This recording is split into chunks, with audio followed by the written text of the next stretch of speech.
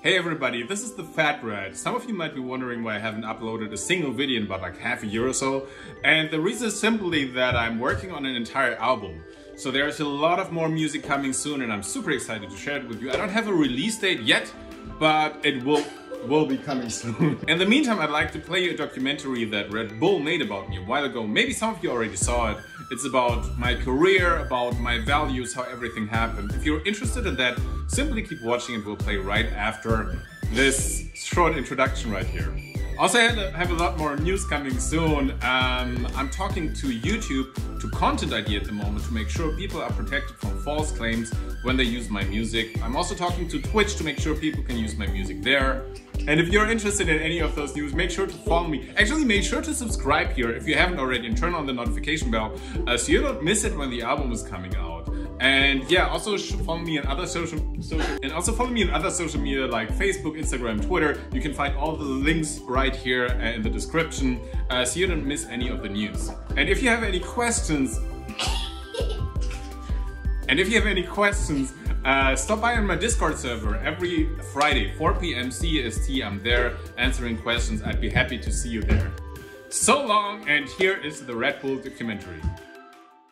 I just want my music to be completely free. I want everybody to be able to use it. Just share it, upload it, download it, whatever. Also change it, they can remix it. Just because I want people to have fun with my music. That's the main goal. Great sound design, great songwriting. It just brings it all together.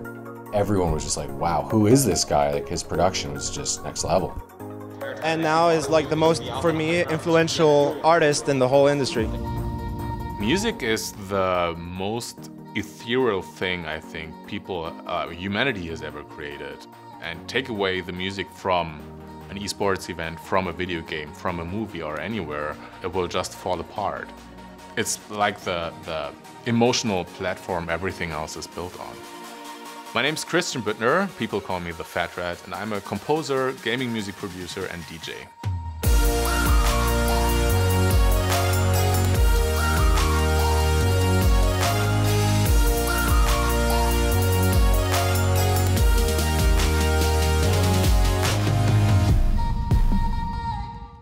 I started making music in 2001 and the next 10 years were a really hard time in the music industry.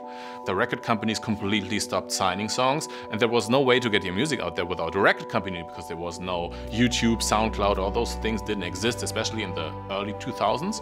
So I thought about what else I could do to make a living, but I had no idea because I always wanted to make music. And so I tried to force myself out of it, but it, it never worked. So I never had really an idea what else I could do. I always made music and I always made a living from producing music. Even though it was a really tough living in the beginning, back then I had to ask my girlfriend for 20 bucks in the end of the month so I could buy some food.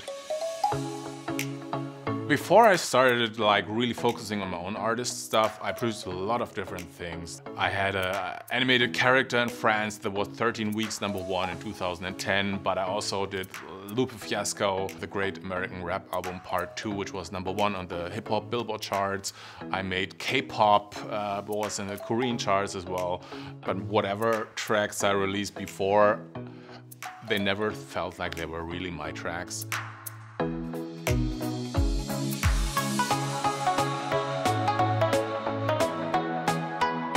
you know, melody. That's what the Fat Rat does so well is that he incorporates these very catchy melodies into his music, but combine them with instruments, electronics, beats. So it's a modern sound, but it still has kind of a retro feel, but in a very, very melodic way. And, and that's something that, you know, a lot of people enjoy, especially in the gaming world. And that's what he nails so perfectly. This one here uh, it's from Mario Paint, the mouse. And in Mario Paint you could not only paint, you could also make music. So it's basically my first ever digital audio workstation here. so many games that I played, I love the music, especially because the melodies are so great, especially in the early uh, days. They had so little stuff they could do with the 8-bit um, consoles, they really had to focus on the music. Uh, I just transcribed it on the piano because I like them so much. For example, Monkey Island and uh, Super Mario World. I'm still playing this today.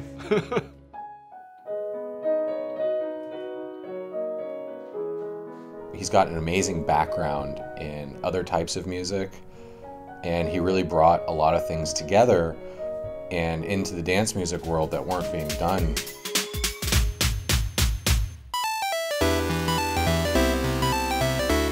Yeah, the response to Unity was just so much better than I expected.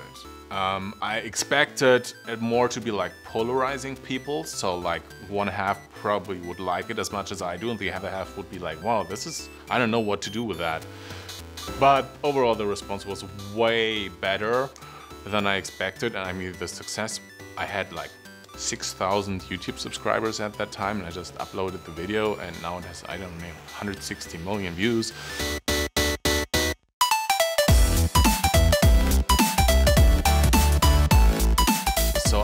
Music that I felt like was right.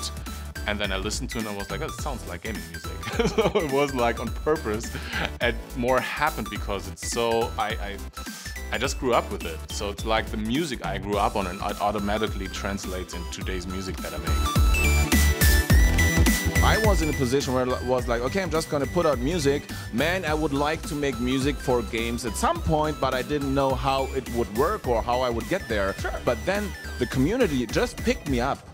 Uh, by themselves, like I said, the, uh, the YouTubers and people, they just picked me up and brought me here. Was a little annoyed by the music industry, um, also because I was doing some remixes before uh, releasing my originals, and they were like region locked. So it was released in one some countries, and then blogs started uh, writing about it. But then people from other countries uh, reached out to me and said, "Hey, where can I get the song?" I was like, "Yeah, it's not available in your region." And I was so annoyed by that. So I thought, okay, this is not for me. I don't want even people have to pay for it. So if they want, they can pay. If they don't want to pay, it's okay. They can just share it. He's made his music so easy to get a hold of. When a lot of people are able to use it, it's made his reach so much greater. And I think it's inspired a lot of other people. And that's why he's having the success that he's having. It was crazy to see how many different people used the music. It went from like people making their own uh, videos, like music videos, to my music, to Ali A, who's a huge uh, first-person shooter. I think he does mostly Call of Duty and stuff like that. Counter-Strike, Dota.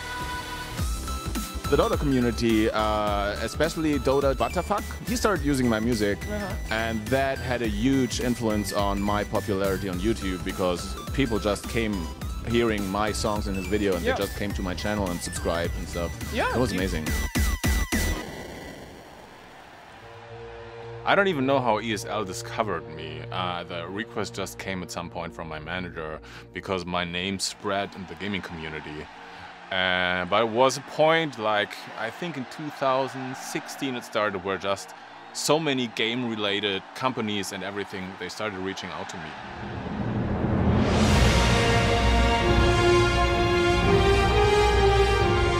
when you're entering an arena with 15,000 people, you know, before it's just numbers, right? You see, oh, I have like 2 million views, 10 million views or whatever. And then when you step on stage, you realize what that means. And that's, that's a great, great moment. Yeah, what was amazing when I played the ESL show uh, was how many people sang along when I opened with a Warrior song. Um, that's shows you how, yeah, how popular it is. There's that bit of hope in his music, and anyone who's in the competitive gaming space knows that we're all here competing to win. And Fat Rat really has that grandiose element to his music.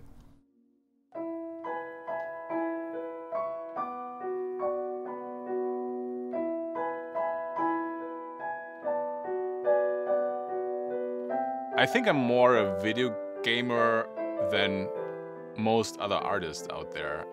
I think because I just grew up so like on video games and I still play them a lot. So for me it wasn't like something I added, it was more something I really came from. So I that's why that's a real connection that I feel to this community. It's really important for me to stay close to the fan base. I meet with my community on Discord every Friday. We're talking for about an hour. Most of the best ideas I ever had, they actually came from the fans. So it's really important for me to basically use the swarm intelligence of my fan base. He has grown from within the community itself and he brings that into his music so that's why gamers love it because he knows and understands the gaming community back then uh, gaming was escape from reality. Today gaming is more entertainment it's not so much escape from reality anymore.